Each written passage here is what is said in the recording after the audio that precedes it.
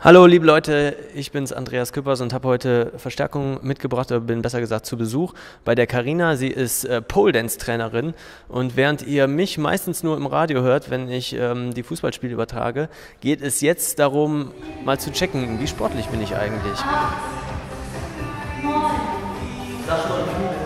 Okay, ich bin sehr gespannt. Also ich habe ja auch schon ein bisschen Vorwissen, was ähm, jetzt generell Tanzen und Turnen angeht. Äh, an der Sporthochschule habe ich studiert und habe da so ein paar Kurse auch mitgemacht, äh, Geräteturnen.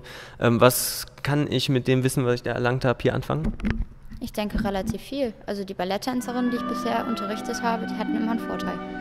Ballett habe ich jetzt bisher noch nicht so viel gemacht.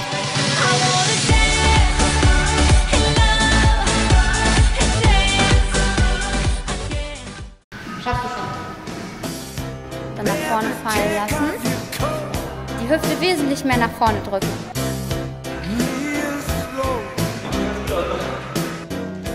Die größte Herausforderung ist, denke ich mal, die Körperspannung so lange zu halten.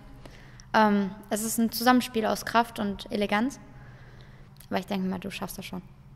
Ja gut, Kraft und Eleganz das sind natürlich zwei Attribute. Ähm, ich glaube, besser könnte man mich nicht beschreiben, ne? oder? Nee, kann ich nicht. Hier hoch hin. Ja, genau. Und dann halten. Und dann halten. An der Stange vorbei. An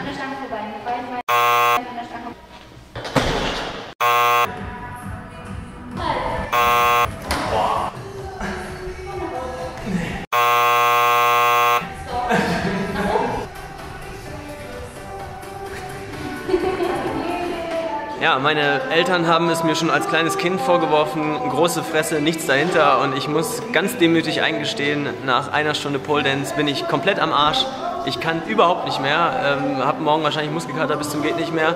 Hinter mir sieht man die Karina, meine Trainerin, die macht das mit links und schwingt sich hier um die Stange, als wäre es nichts. Für mich war es echt zu viel. Ich habe mich durchgebissen, zumindest versucht, alles gegeben, aber ähm, ja, heute bin ich an meine Grenzen gestoßen und ich gehe ganz demütig nach Hause und sage, von dieser Choreografie bin ich noch meilenweit entfernt.